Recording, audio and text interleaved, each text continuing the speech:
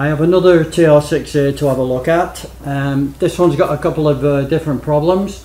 Um, one of which is the uh, the ring gear on the starter. I have to take the transmission out to uh, replace the ring gear. But one of the other things was typical of TR6s. It's got a clunk on the back or a noise on the back.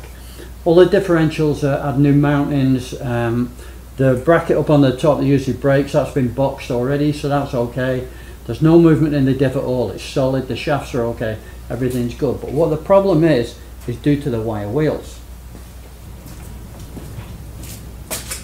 So what I do with the wire wheels, I've loosened this first already. I've done it, I did it with a hammer earlier.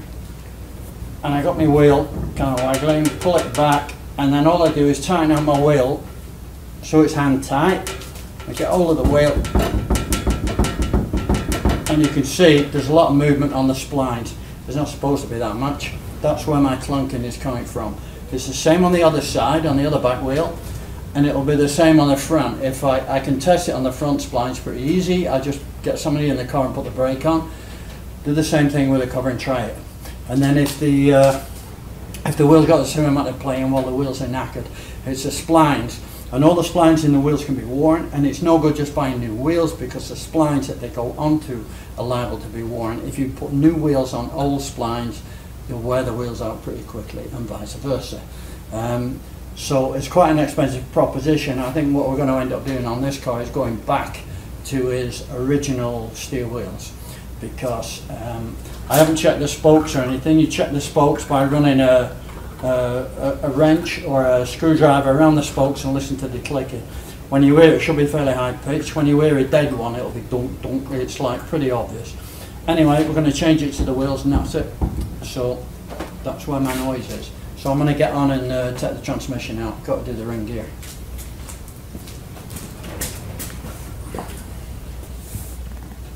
The interior in the car is tan, so it's really uh, have to be careful with it. So I have to take out both seats and all the uh, um, center console here and the centerpiece. So going down over the uh, transmission cover. And then uh, I got to take the transmission cover itself off. So the first place I start actually, I start on the steering wheel because once this is out of the way, it makes life a lot easier.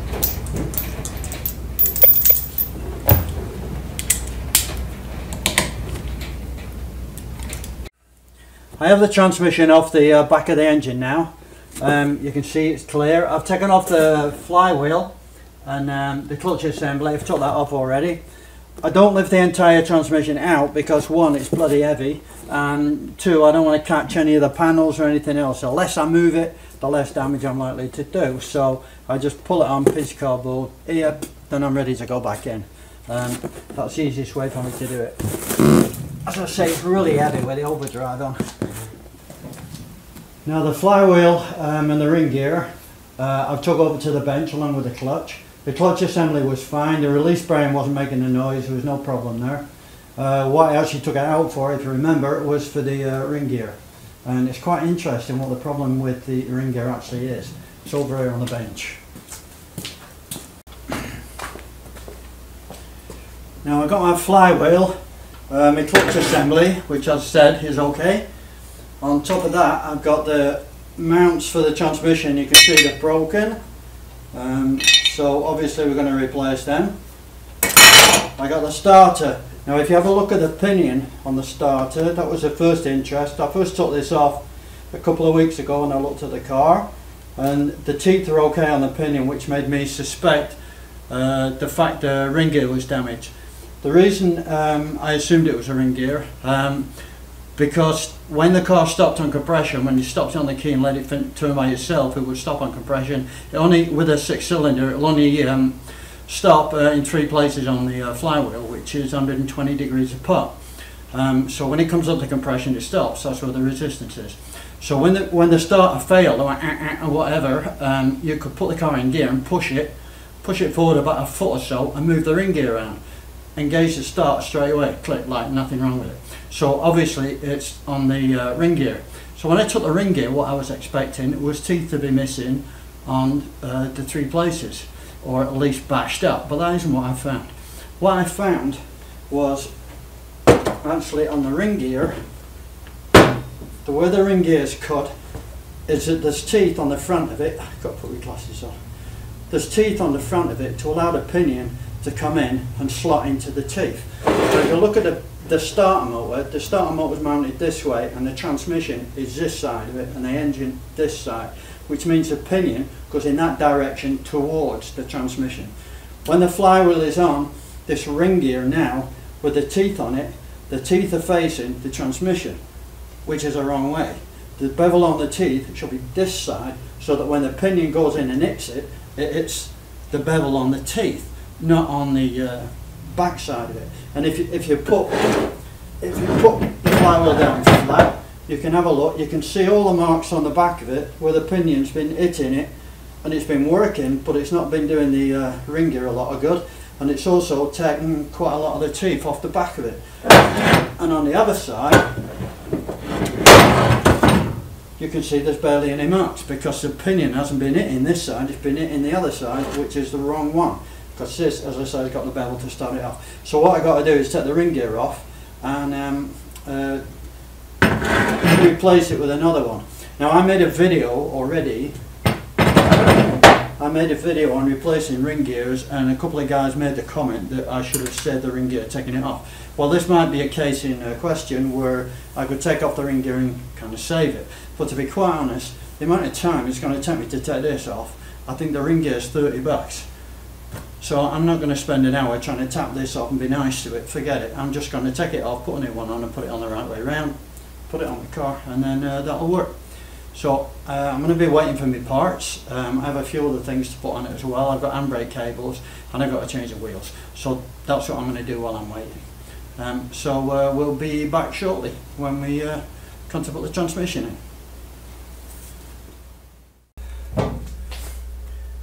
So first thing I need to do is get the transmission in a bit closer.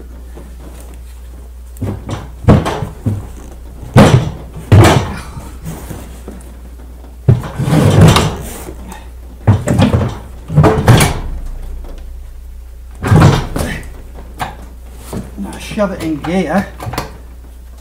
Usually second is better. Yeah.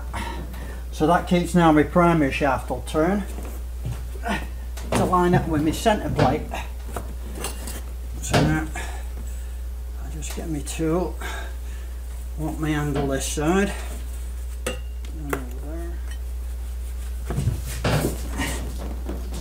Ten now. So now all I have to do is put the bolts on around the bell housing. I'll put the ones on the top, put the rest of them in. I can use the strap while I put the cross member in under here, the little cross member and the, and the mounts.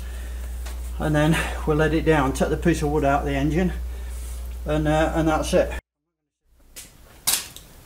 I'm back on the uh, green TR6. As you can see, I've got the uh, transmission back in in it and I'm just doing the brakes now. I put new wheel cylinders on it. The transmission, by the way, I don't put all the interior back in until I finish the rest of the car and I can drive it.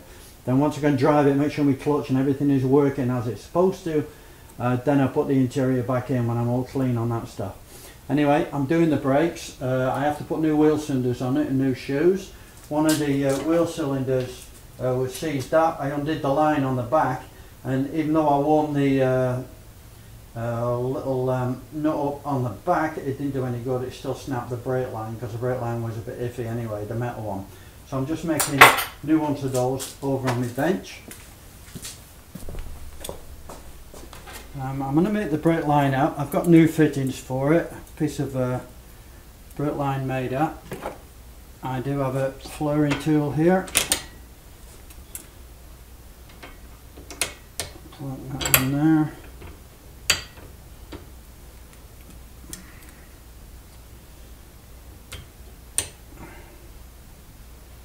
line up my bit of pipe and then do my single flare first. And then do my double flare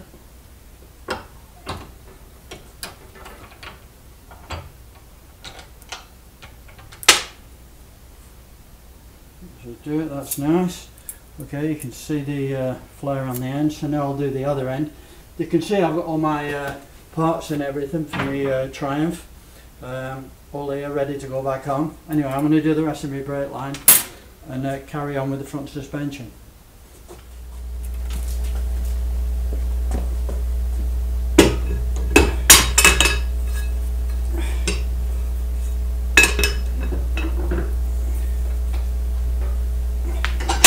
I've taken the rotor off the uh, TR.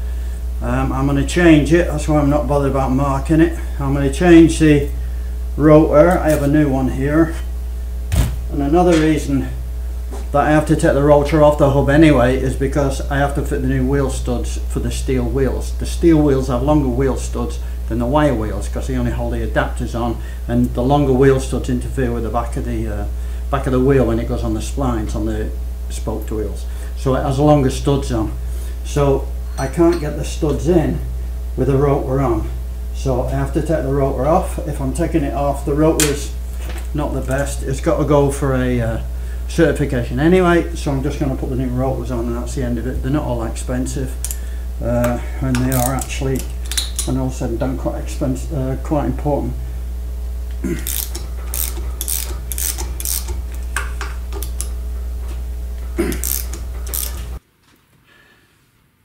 I have my new rotor now and I put it in the vise. I put material in it to protect it so I don't mark the edges of it.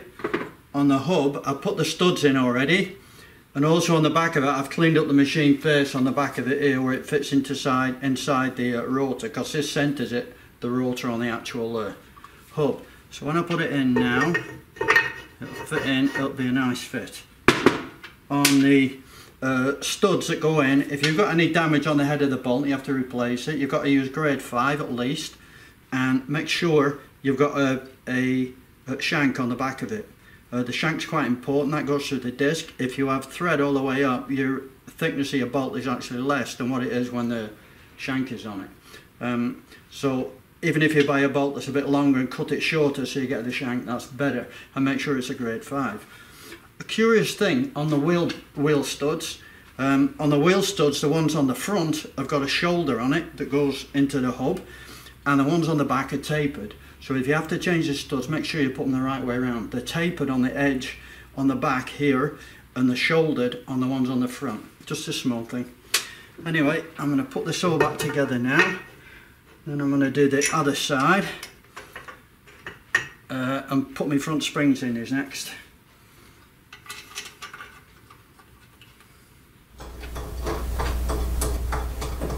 just taking off the uh, spring compressor tool that I use. I put both the springs in the front now. So I've just got to put my shock absorbers back and um, I bleed the brakes I'm ready to go. That's about it. I've finished the car now, put all the interior back, uh, done everything. All I've got to do now is take it to the paint shop and um, have the trunk lid repainted because the guy put a cover on when it was wet and then put something on top of the cover. So it damaged all the paint on the trunk lid. Apart from that everything's good. I drove the car with the steel wheels on. Now a lot of the problems are gone away. I got no clunks on the back and now I, I don't have that weird vibration on the front either. Uh, the main thing is sometimes with the spoke wheels when the hub gets a bit loose or the, the splines get a bit loose what can happen and I've seen it in extreme cases you put the brakes on and the, and the front wheel and the hub actually turns inside the wheel where the splines are it takes all the splines off. And it's sometimes it be very difficult to get the wheel off. I've had to cut them off with a welding torch before now. Um, but that's really extreme cases. Um, but anyway as I say all the vibration everything went away on the car so I've got to move this one out. Um, I have a, another MGB to bring in and I've got to shuffle a whole pile of stuff around. So uh, that's it for now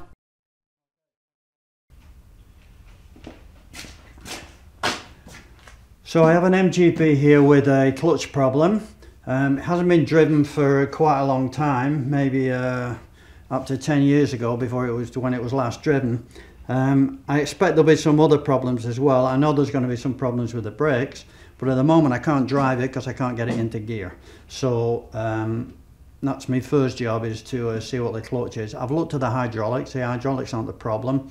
the hydraulics are working, it's just the clutch is uh, not freeing off inside and it's not the plate sticking to the flywheel either, I've checked that one. Um, anyway, so I got to take the engine out, see what the problem is. So that's what I'm going to do, uh, well that's my intention. Thanks for watching and uh, please subscribe to our channel as we appreciate the support and it does encourage us to make more videos.